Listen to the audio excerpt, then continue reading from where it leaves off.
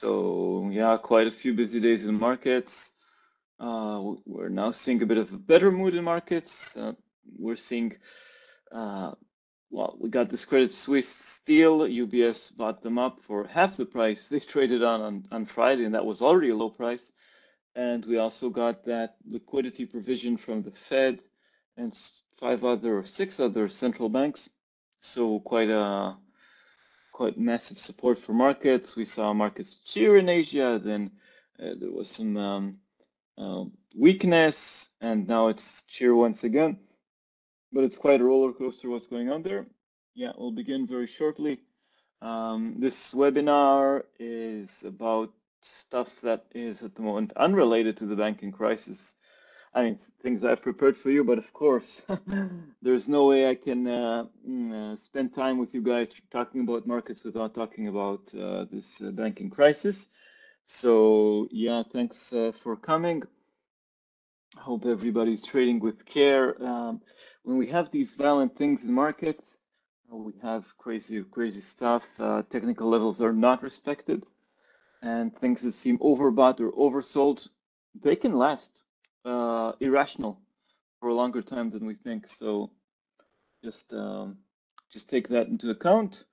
Yeah, and yeah, we'll begin uh, uh, very shortly. Again, thanks for coming on this busy day for markets. Well, it's not the only busy day. We had two very crazy weeks.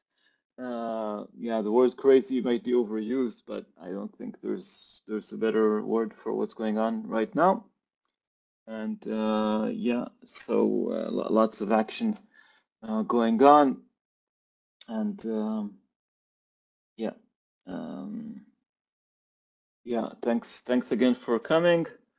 Waiting for the sign to to kick it off officially, but uh, we'll uh, we'll begin very shortly. Talk about two double-edged swords. Uh, but again, we can't avoid the banking crisis unfolding before our eyes. It's, it's major. So yeah, uh, so I guess we can uh, I guess we can kick it off, right? Yeah.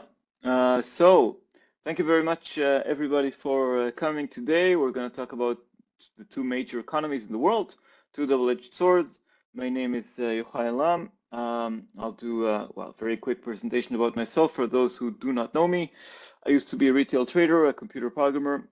I founded my website Forex Crunch back in 2008, joined FX in 2018. I'm leading uh, FX premium product. Now my focus is on, on fundamental analysis. That's what we'll talk about today. Fundamental analysis is becoming more relevant when we have crazy moves in markets and uh, technical lines are not respected as they used to be. Okay, so just before we kick it off, here, well, here is Jerome Powell, the chair of the Fed. He'll make a decision on, on Monday, and Xi Jinping, the chairman of everything, uh, Chinese Communist Party president. Uh, yeah, a very big impact there. But be, before we start, I'll do a very quick pitch uh, telling you about our premium product, uh, which which I lead. You can tap into 20 years of our experience. We have lots of insights about Forex, and we also discuss stocks, cryptos, commodities, lots of questions about gold these days. Um, you can access our instant trade notifications and alerts. We have uh, detailed trade plans, and well, can ask us anything. I think that's a key part of, uh, of the product. You can just ask us questions in our Discord community, and um, you can get uh, these trading alerts with entry uh, signals and we get lots of positive feedback. If you don't believe, well, if, this is internal feedback that we got, uh, but you can also go to Trustpilot and see what people are saying about us. So yeah, uh, really lots of lots of advantages. I think if you're trading seriously and if you want to up your game in trading, then you, can join us here. I'll share the link in the chat so you can uh, sign up now or after this webinar. And um, yeah, and you can ask me and my colleagues and uh, great uh, questions. We recently added uh, Ian Coleman to the team and we recently had a well, winning streak of, I think, nine out of 10 trades went well. So really things are going well and you're welcome to, to join us. Okay, so uh, that's that's my pitch. You can sign up now or later. Let's talk about what you came here for.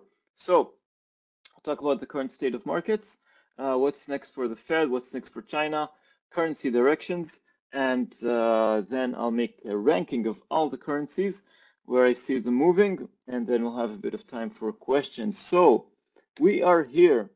Uh, so far, I'll put the banking crisis aside just for one second there's no landing. The US economy is doing really well. Growth continues at full speed. The consumer remains healthy. People are buying, buying, buying, and buying. Uh, more people coming into the workforce. So we had uh, the participation rate growing. And yeah, expansion continues. We talked about a soft landing, a hard landing, and now no landing at all. That's also a possibility. That looks good. Now let's put the banking crisis here. If the banking crisis causes financial conditions to tighten very much. What does it mean? So we have a collapse of the of Silicon Valley Bank uh, and then Signature, not very big banks, but no money is flowing from the smaller banks to the bigger ones. Uh, less competition, which means uh, banks uh, um, can offer uh, worse conditions to clients. That means less money for the global for the economy, the U.S. economy, and the global one, and also um, it means that um, uh, people are in general more afraid of taking any kind of risks and therefore they can, well, uh, save more money or, or just not spend. So that's a risk that we're seeing in the past uh, two weeks. I believe uh, it will subside. I believe the Fed will raise rates this week, but at the moment, it's something we should be aware of. If things worsen from here, if another bank collapses or there's a need for more bailouts, or if there are massive layoffs, I don't see them coming yet. We'll talk about that uh, very shortly. Then uh, the banking crisis, um, yeah, that's one. Well, that's part of the double-edged sword. So it, it, everything comes together uh, to the Fed. So let's, um, yeah, let's. This is America. In China, world's second largest economy, COVID restrictions begin uh, belonging to the past. We're not talking about that anymore. Geopolitical worries are dismissed.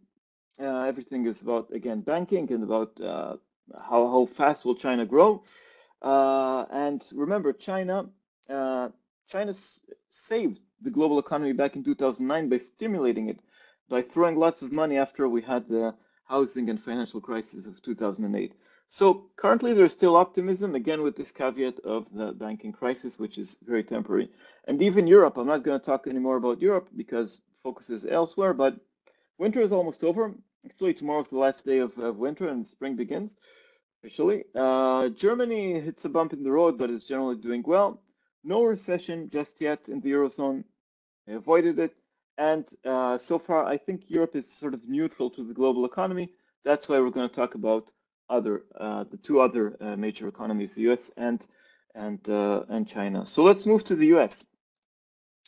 So until February 1st, the Fed told us that it's going to raise rates towards 525 and stay there throughout 2023. Um, and they were optimistic that inflation is falling. Uh, they talked about tapering down the process of rate hikes, no pivot. And markets saw a peak in May and cuts later on. So sort of the end of the Fed um, tightening cycle.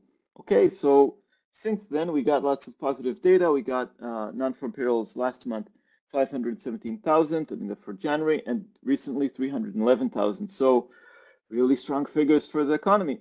Then we had uh, inflation also rising, 0.4 on core CPI, the most important figure in the inflation report, core CPI month over month. And then last month, I mean, just a recent report, 0.5. So inflation is high, jobs are strong. Even the core PCE, which is a lagging indicator, it jumped. Usually it's more moderate. Okay, so the US economy is on fire.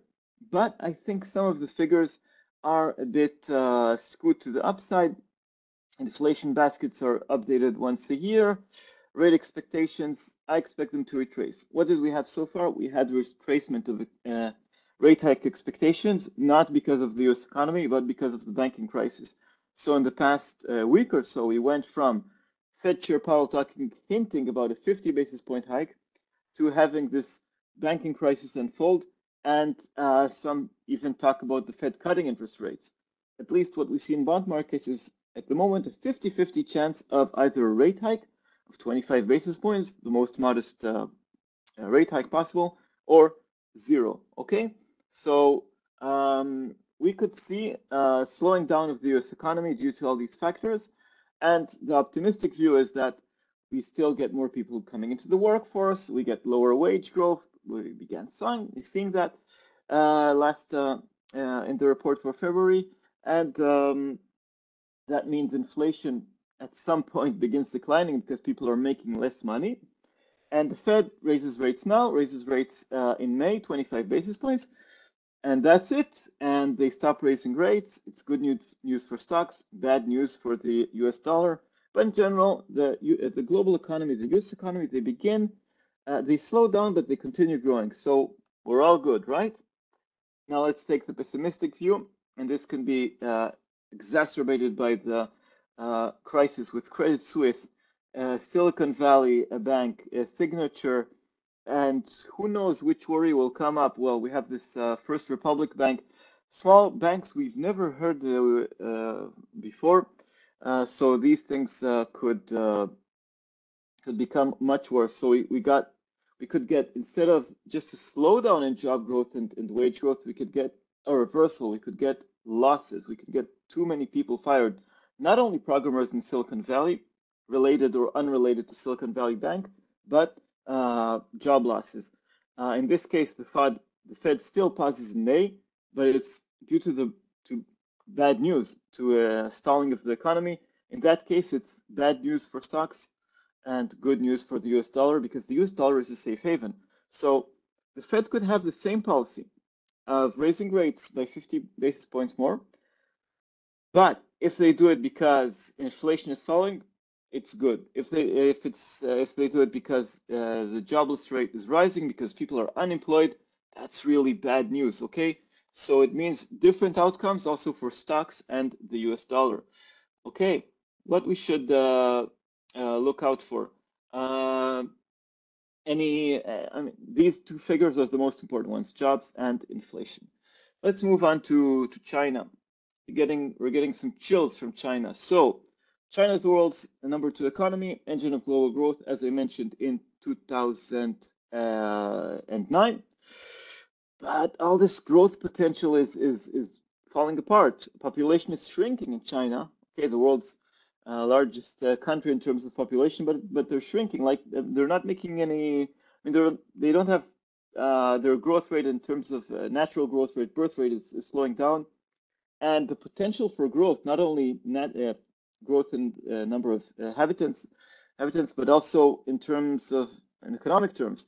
The mass urbanization, what triggered this growth was people moving from the villages to the cities, and this is over.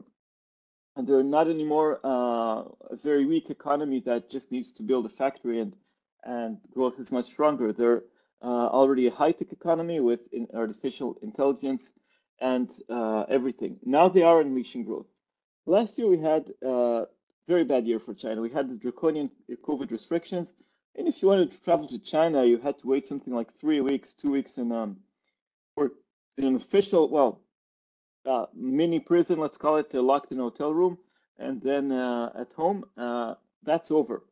Uh, but uh, they cracked down on tech uh, companies. Jack Ma, the founder of Alibaba and Ant, basically disappeared from public view and they crack down on uh, property developers, on, on construction. Evergrande is the biggest name, but there are a few others. So COVID is over. That's that's done. The people are moving around, uh, but on the other hand, China wants to surpass the U.S., but still wants control. They they don't want these free, Maya spirited entrepreneurs in the tech sector to thrive that much. Property crackdown. Today we learned that Evergrande reached a settlement with the it's uh, dangerous, but uh, they still uh, maintain some of the restrictions. Okay, so they still want control. Um, and what matters is not uh, perhaps the exact growth rate, but what type of growth rate. So this is again the double-edged sword. The old model for China was build, build, build, lots of investment being the factory of the world, investment and exports, and also construction, building um, homes for people in cities. Uh, this is very com commodity intensive. It means higher global growth, and it's positive uh, for the US dollar because it lifts inflation. Okay, um, the new model uh, is the positive point here is that they're moving towards tech. Uh, so shift from manufacturing to services, lots more internal consumption, still means pressures on prices outside China, okay, because Chinese people are going to consume uh, stuff from outside, but uh, it's not that strong for global growth. It's a bit negative for the US dollar. It doesn't mean that much inflation. It's not inflation that comes through uh, commodities, okay? So that's the positive uh, pivot from, from China. If we have more uh, internal consumption of services and less manufacturing, that's good for the global economy, good for stocks, bad for the US dollar. If we have the old model of building stuff, uh, creating stuff, uh, manufacturing, that uh, that's negative for the global economy.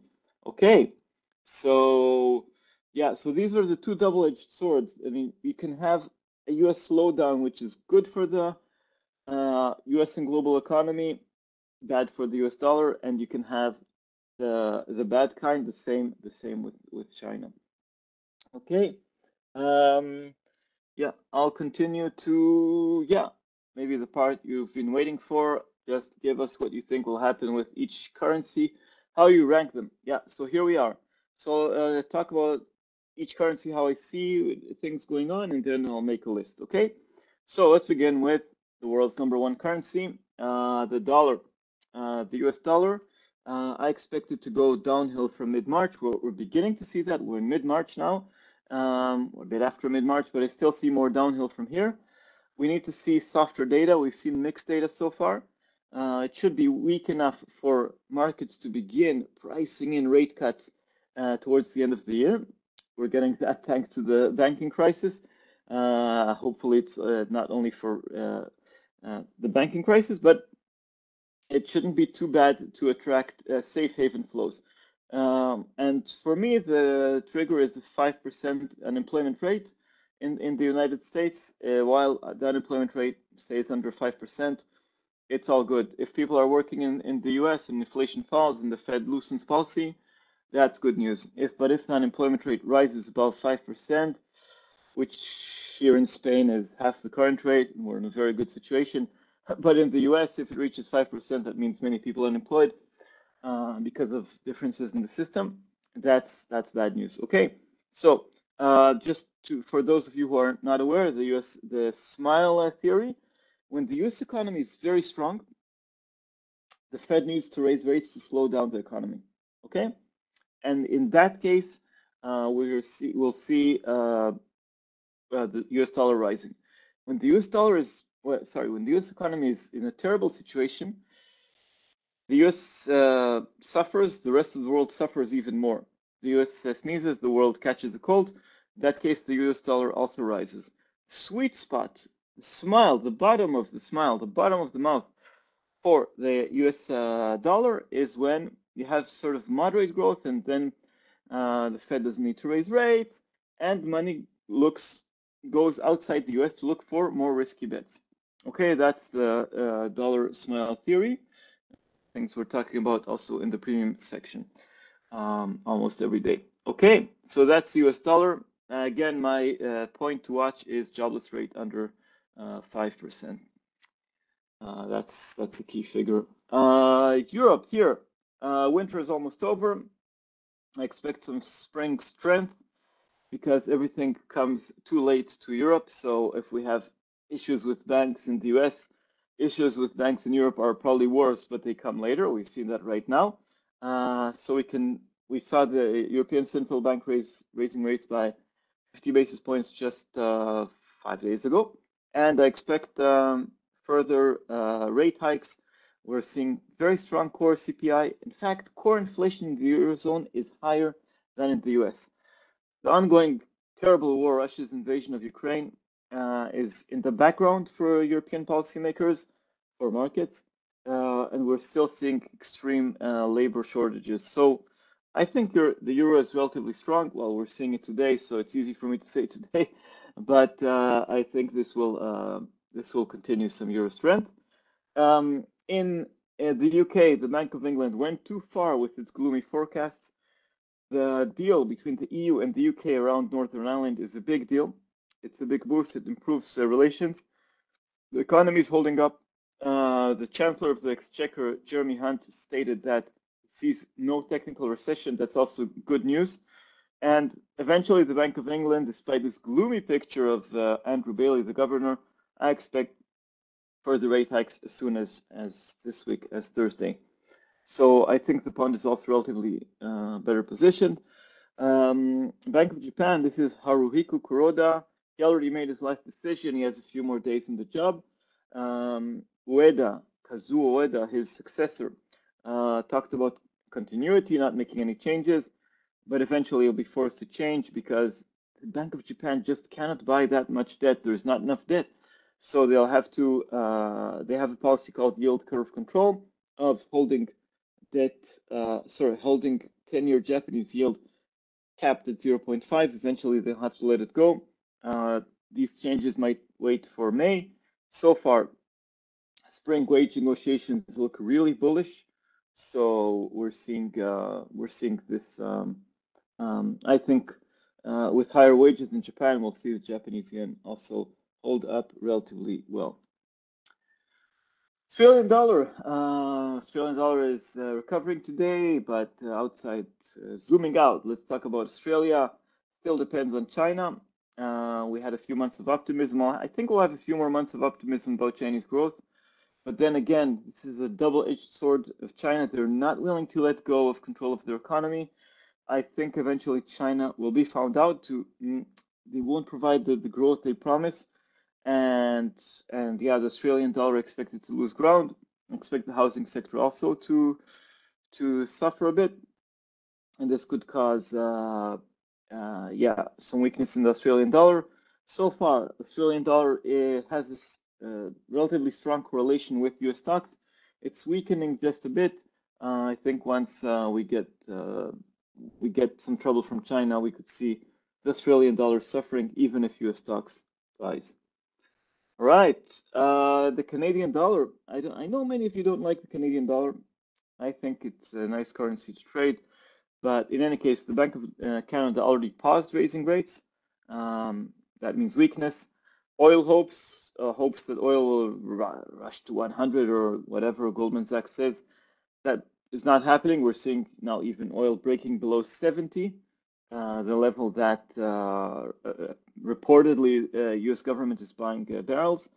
And I expect interest rates to, Bank of Canada to begin cutting interest rates before everybody else. We're seeing pain in the U.S. and sorry, in the Canadian housing sector. And yeah, so this is a sum up. I told you I'll uh, provide a ranking. These are, of course, my bets, my expectations, not uh, not a, uh, trading advice. So I expect the next few weeks to see the euro strengthening, uh, number one, the pound running right behind it, the franc also going up. I think the deal between shotgun wedding, you can call it, of UBS uh, um, swallowing Credit Suisse, that's uh, also good news for the franc. Uh, then the Aussie, I think sort of mixed mixed trading, a bit of strength now, but weakness later on. Then the Japanese yen, followed by the Canadian dollar towards the end and the US dollar at the bottom. Uh, US dollar got lots of safe haven flows. I think it'll be unwound. I think uh, everybody's here to uh, to uh, stabilize the system and prevent a 2008 scenario. Regulators are in a much, much better uh, position than they used to be. Okay, this is my ranking. Uh, yeah, you're welcome to ask uh, questions. I might have been speaking very, very rapidly, so any, any clarifications, all questions are welcome. Like in our premium section, that's an opportunity to remind you that you're welcome to join our service, uh, where uh, I think it's a, it's a good deal. Can tap into our 20 years of uh, trading experience. Of course, you get discounts if you sign up for uh, longer term, deep discounts, I would say. Um, you can leverage our actionable content, learn the best practices from, from ourselves. Uh, you have trade plans to follow, and we have a really, really nice community. Uh, not only people asking us questions, but uh, uh between you know, traders, we have a good, good vibes there. So um, we're getting lots of positive feedback. Again, check us out on Trustpilot And yeah, so um, yeah, let me share that link again while we wait for questions.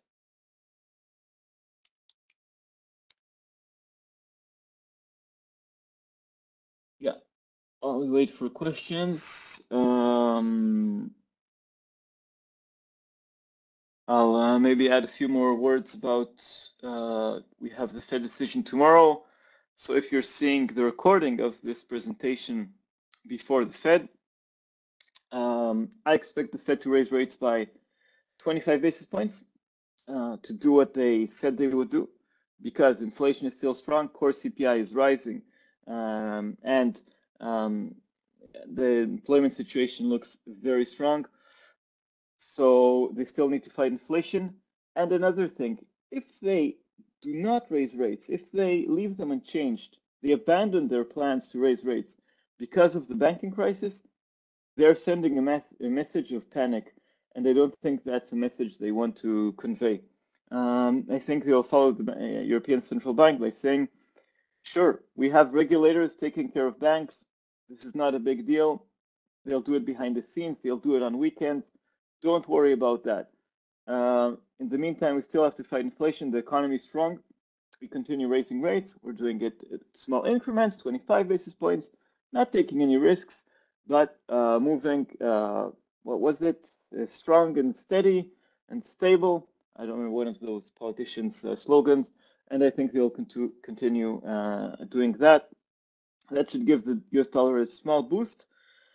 tomorrow we also get the Fed's uh, dot plot. Uh, dot plot is a fancy, well, it's a fun name for the survey of economic projections or whatever they call it. Anyway, they're going to send a message there about the how rates will uh, evolve until the end of the year. I think they'll keep their message of keeping, I mean, raising rates to higher levels this year, above 5%, and uh, forecast cuts uh, next year.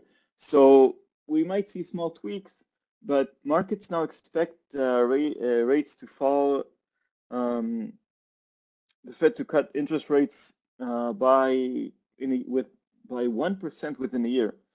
That's a lot. Uh, that's because of all the panic around banks. So I expect uh, I expect um, the the Fed to still say we're gonna be data dependent, act as needed, um, but uh, so far, so good. Inflation is too high, unbearable for American families. Employment is strong. We can raise rates. And if needed, we can change our mind, but we don't see a need for that right now. Okay, I talked a lot about the Fed.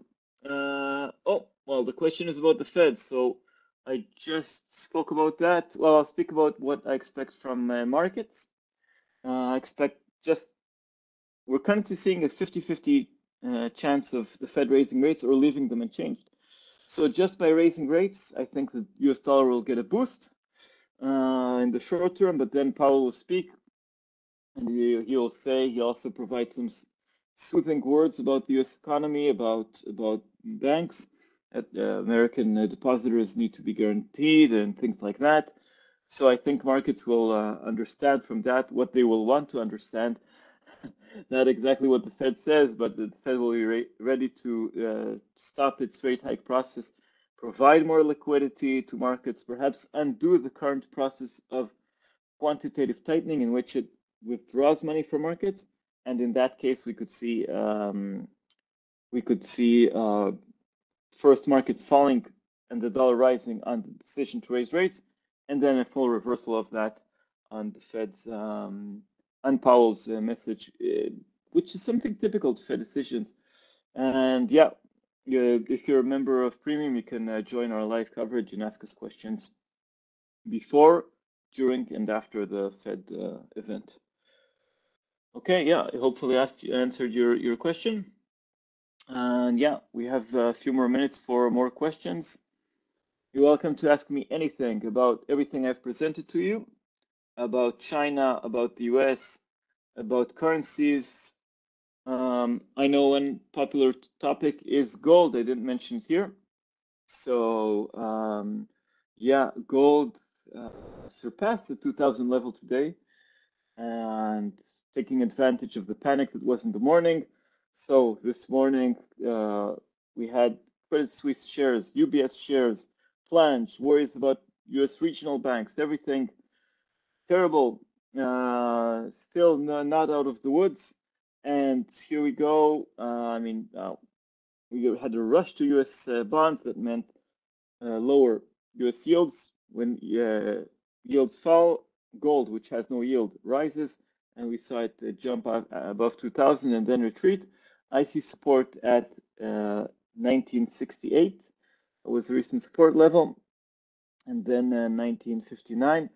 Resistance is at I don't have a chart here to, uh, but uh, resistance is uh, at 1998, and then the really big level is to 2026. In any case, gold is trending higher.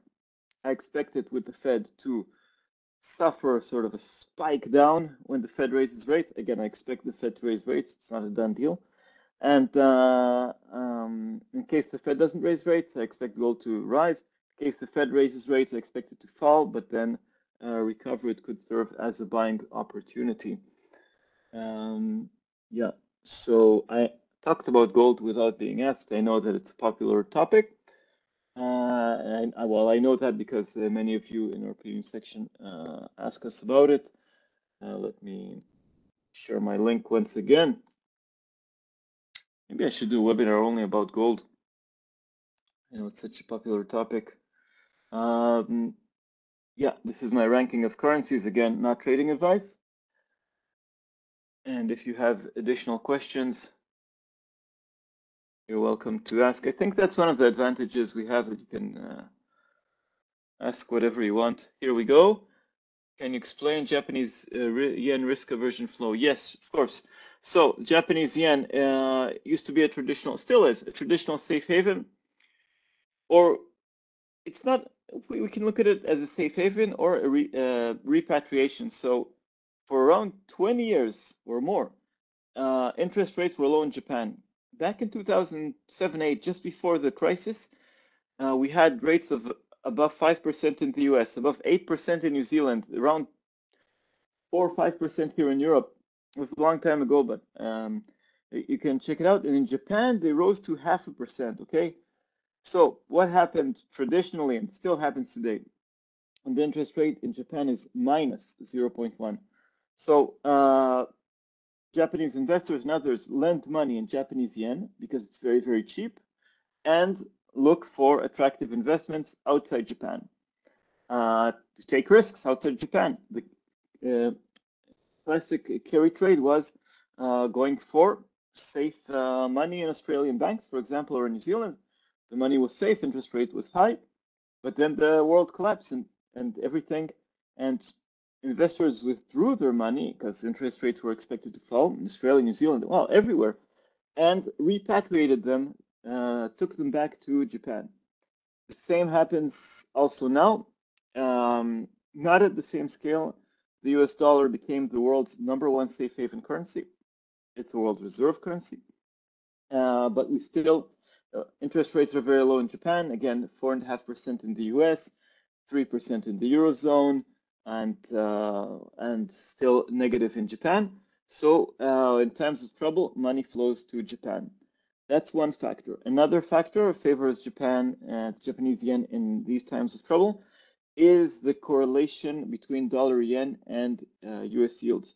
So when money uh, flows to US yields, sorry, to US bonds lowering their yield, uh, dollar yen falls. It has a very strong correlation, US 10-year yields and uh, dollar yen. So when we see dollar yen falling, it also has an indirect impact, collateral damage, if you wish, of strengthening the Japanese uh, yen against other other currencies. Okay, so money goes to, uh, in these times of trouble, it goes to uh, the Japanese yen for these two reasons. And once we have some improvement, once the hours pass in this current banking crisis and we have no issues, uh, no new issues in, in First Republic, Zions, or all these new names we're learning every day, or no major European bank is in trouble. I don't want to say names. I don't want to cause any uh, panic, but you can look up uh, news reports from the past uh, and see which banks uh, used to be at least more vulnerable then uh, we can say that, but once nothing happens, uh, the Japanese yen loses its attraction. Why stay in, in Japan with very low yield when you can take risk on stocks or any other currency? Okay, so I hope this um, answers your question. Uh, John, yeah, and thank you earlier too. Didn't mention your name, sorry. Uh, Oladipu uh, for your your question. So, hopefully I didn't say that name too wrong. Um, yeah, any more uh, questions? As always, this webinar will be recorded, uh, is recorded, sorry, and will be available on the FXStreet website. You can watch it whenever you want. Of course, my answers about the Fed decision will become irrelevant once the Fed decision uh, comes out, but everything else is, of course, irrelevant and to continue asking questions beyond this uh, free webinar. Again, I'll do my, my marketing pitch. You can just join our premium service and uh, and see and experience how it is. Again, we get lots of positive feedback. And there's only one way to know if it's for you, uh, to sign up. Uh, yeah. yeah. תודה uh, Ramon. Uh, yeah. So thank you very much. Yeah. Uh, yeah. Another question. Can you talk about Aussie-China correlation? Sure. Uh, Australia's main export is uh, metals. Uh, iron ore, copper are the strongest ones, but there are lots of metals in uh, Western Australia and also in Queensland, if I'm not mistaken. And the Australian economy um, suffered its first recession from 1990 uh, only in 2020 around the COVID crisis. So the demand from China for construction, for um, manufacturing, uh, boosted the Australian economy for a very long time. And that's why uh, um, that's one link. Another thing is that it's hard to trade the Chinese yuan. There are capital controls, various restrictions. So um, trading the Australian dollar became a proxy to trading the Chinese uh, yuan. Um, and another uh, reason is that uh, China is linked to growth. When China uh, stimulates its economy, uh, the entire world enjoys it. Stocks rise everywhere, and the Australian dollar has a good correlation with uh, with stocks. So these are, um, but the, the fundamental thing here is economics. It's just that um, Australia depends on uh, Chinese uh, imports of its metals. Not only metals, there's also well, student exchange, also, well, economic ties are very strong. Uh, a few years ago, when Australia was angry at China regarding the origins of COVID, uh, we saw the Australian dollar suffer because uh, uh, China began suddenly discovering some wrongdoing by Australian firms. Um, technical problems, and of course it was all political, and that caused worries about falling uh, Chinese demand for Australian goods. And also last year's, um, uh, also COVID related, but not politically related, Chinese um, slowdown of the economy, it hurt, hurt Australia. And now we're seeing um, the Australian dollar stronger thanks to this correlation. Of course, again, Australian dollar is sensitive to stocks, so uh, stocks are uh, convulsing, well, we're convulsing around this banking crisis. Okay, hope that answers your question. And yeah, uh, anyway, that's my slide about Australia. I expect Chinese growth to be a bit weaker than than expected, and and the Australian dollar to suffer. And uh, respond list to US uh, stocks. Okay, so we just had, uh, wish you all, uh, well, trade with care. These are genuinely crazy markets. We don't see those weekend headlines coming every weekend usually about uh, what's going on with Credit Suisse or, or a central bank intervention or you name it. Uh, so really trade with care. Um, if you don't want to trade alone, want to trade with other people, with us, with our analysts and with a nice community. You're welcome to join the premium section. I think I've mentioned it a few times. Uh, so uh, that's it, I guess, for today. I see no more questions. Uh, thank you very much, everybody, for attending this uh, webinar. I hope to see you soon. And um, yeah, looking forward to more action in markets. So that's it for today. Thank you very much and bye-bye.